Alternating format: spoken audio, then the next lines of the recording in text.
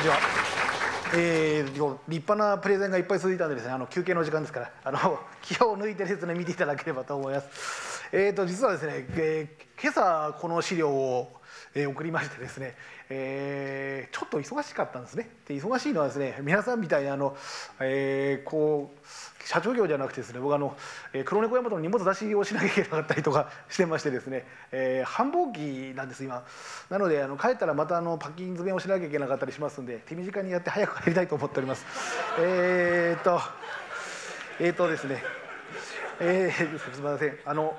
で、えー、実際あの私たちビッグママというのはですね、えー、僕はあの今あ44歳ですので23の時に、えー、父の会社は父の会社といってもあの個人事業でしたので、えー、個人事業の会社に入りまして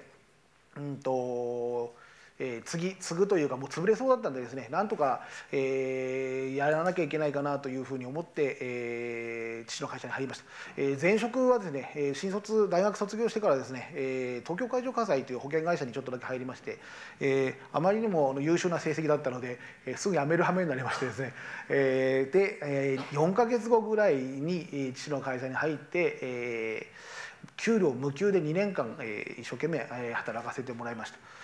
もともとはあの長崎屋というスーパーのですね、えー、下請けのお修理をやっているようなサイズ直しをやっているような会社を会社というかその職人集団を父親がやってましたので、えー、その一つの工場を、えー、引き受けて、えー、やらせてもらいました。えー23その翌年にですね株式会社ビッグママというものを設立をいたしましてもともとは B2B の専門店やあの百貨店からサイズ直しの仕事を受注するようなお仕事をで生計を立てておりまして。であのーまあ今日すごくあの人のためにとか社会のためにって皆さん言ってらっしゃるんですけど僕はあんまりそういうのなくてですね 自分の欲望がすごく 強かったんですでなんとかねあのメルセデスに乗りたくてですね、えー、であの中学の頃もあんまりパッとしませんでしたし、えー、なんとか女の子にモテたくてお金持ちになりたいというのはですね正直本当にあのそれだけで、えー、やってきました。えー、もともとそんなんだったんでですね、えー、実はあの今年で21期目なんですがあの決算書はもうジェットコースターのような決算書でです。こんなんです。こんなん、えー、債務超過に2回なってますしえー、とですね赤字大きな赤字なんていっぱいあります、えー、それでもなんとか生き残ってまいりました。あちゃんと説明しなきゃいけないですね。えっ、ー、とそんなことでですね最初 B2B の仕事をやっておりましたが、えー、27歳ぐらいでメルセデスを買ってですね、えー、すごい赤字になりましてこれはもうあのどうしようかと思うぐらいあのなんで会社が赤字なんだろうと思った金額とメルセデスの金額がぴったり一緒だったんです。でこれがどうにもなんなかったので B2B の仕事をですねやめなきゃいけないと思って一般のお客様からリフォームを預かる仕事にちょっとこう変えなきゃいけないかなというふうに思って変えましたもちろんそれはあの粗利を高める直販に切り替えるということでそんなふうな形の商売に切り替えて、え1999年のにですね、え仙台の141というファッションビルに、えお店を作ったのが最初でございます。えーあの全然売れないだろうと思ったらですねなんと売れてくれましてですね、えー、141のお店は、えー、同業の中では日本で一番の売り上げを作るお店になりまして、えー、そんなところを、えー、いっぱい商業施設の方が見に来てくれるようになって、えー、実は、えー、10年ほど前に東京進出をいたしました。東京進出をして、え、もう10年ぐらいになりますが、えー、今は多分60店舗ぐらい店があるんじゃないかと思いますが西は、えー、広島にお店を開けたばっかりなんですがお店を開けまして、えーと、上はあの札幌にお店があります。えー海外はあのシンガポールに現地法人を作ったばっかりなのでですね今から着々と野望をですね世界に広げていこうかというふうに思っておりますが実はあのビッグママはですねそんなこと言いながらも一応2つのビジョンを、えー、言っておりましてですね一つはあの直しの素晴らしさを多くの人に伝えたいという思いを持ってやっております。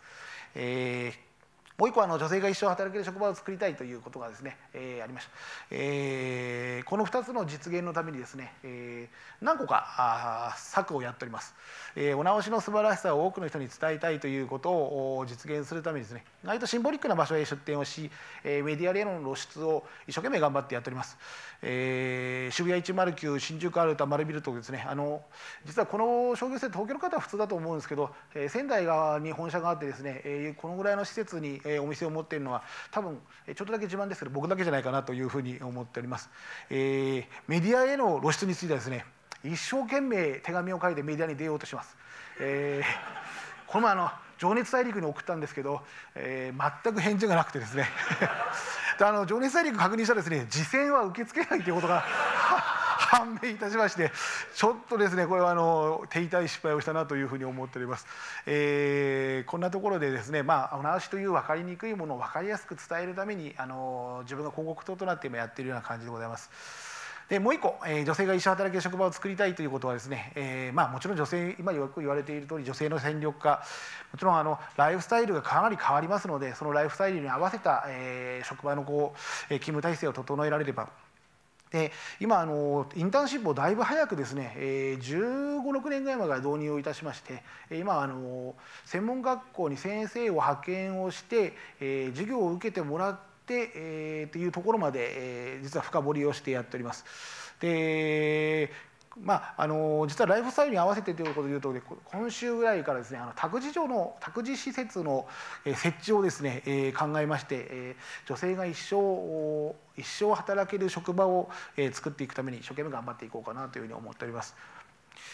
えー、あらこれちょっとこの写真が入ったのはあのこれはですね女性が一生働ける職場づくりの代表としてですね、えー、こういう可愛らしい女の子がですね新卒採用で入ってきましてあインターンシップを経験して新卒で入ってきます、えー、45年ぐらいのですね社会人の経験をすると、えー、出産や結婚出産でお休みをしますのでそうすると在宅勤務が可能だったり、えー、それこそ託児施設なんかを使いながらもう一度、えー、復帰にチャレンジをしてもらうような環境づくりをします、えー、復帰してもらうとですねそのライフスタイル、えー、勤務時間に合わせてうんと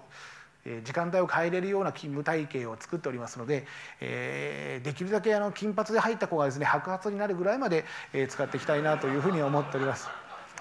はいえー、ちょっとだけまともな話をするとです、ね、一応あのこれでも伸びずっと伸びてきましてですね、えー、お直しなんていうのはですね皆さんと違って1本500円の素揚げをかき集めてですね売り上げにしております、えー、今いくらだっけかな？10前期で11億300万ぐらいです。えー、ずっと伸びてきたこれ利益書いてないところがポイントなんですけどずっと ずっと売り上げは伸ばしてまいりました、えー、今期は一応13億ぐらいのですね目標にしておりますが、えー、経常利益に関しても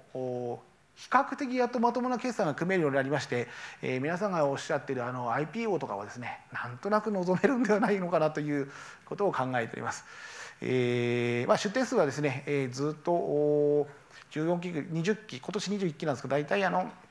10店舗前後ぐらいずつ新規出店をしてまいりました。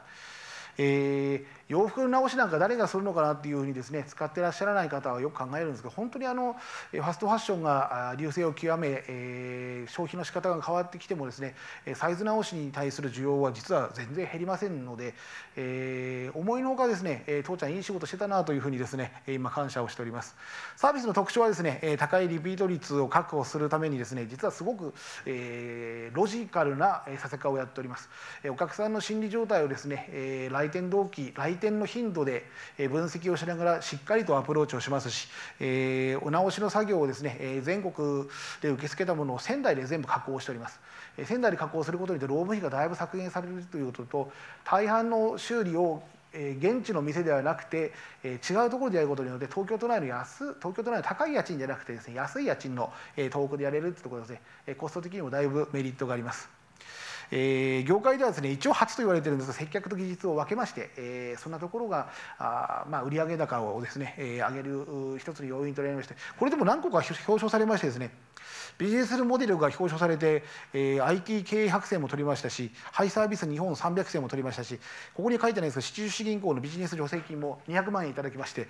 えー、次の日飲み飲んで亡くなっちゃいました。えー、今後のその市中銀行さんにご馳走しましたその分、えーと、今後の目標なんですが、えー、実はあの今50何店舗ですが100店舗まで店舗数を広げたいと思いますこれあのもちろん欲望が欲望なんですけども実はやっぱりお直しを分かりやすくみんなに伝えたいと思うっていうことはいつでも使えるようなところに店があったらいいなというふうに思っていることです。で、えー、立地の良さをよかしと生かしてですね、えー、より便利なサービスを充実させてさせてもらってます。今あの洋服一品から買い取るようなあの商品を引き取るようなサービスもします、えー、いらない時にお店に預けて保管をするサービスもありますので、えー、ほとんどが駅ビル立地なので、え、駅に行ってですねいらない時に洋服を預けて、え、着てみようと思ったら破れてる箇所があれば修理をして、え、いらないなと思ったら引き取ってもらうそんなことを全体として、え、提供できればなと思います、え、海外は先ほどもお話した通りシンガポールを皮切りにですね、え、実はあのどんどんやっていこうと思っております。えーとえー、次はですね情報システムというのはですねうちあの IT をすんごいやってましたんで、えー、IT についてですねあのいいシステムが出来上がったので横展開をしていきたいなというふうに思います。えー、皆さんがあの先ほど震災のお話をされましたが、えー、僕はほとんど被害がなく実はあの震災で大変な思いをしたということは全くないんですね。でお互い本当にあの恵まれてなんとか命がありましたので。えそれを機にですね、えやってみようと思っていたけどやらない言い訳をしてやんなかったことを全部やろうと思って今やっております、え海外も子供に託そうかなと思ってたことは全部ですね自分がやってしまってから、え引き継げればなというふうに思っておりますので、え海外の展開や上司システム横展開なんかを一生懸命頑張っていってでファッション、えメンテナンスのリーディングカンパニーになってですね初上場、えメンテナンス業界はですね上場会社が少ないのでですね特に衣類はですね全くありませんので、えそこのトップとして、えなれればなというふうに思っちゃった、えそんなような会社ですが、え今日すみませんどこに向かってプレゼンしていいかよく分かんないできましたんで、えこれで資金調達ができるのかなと思っておりますけど 何かあのご支援いただければよろしくお願いいたします。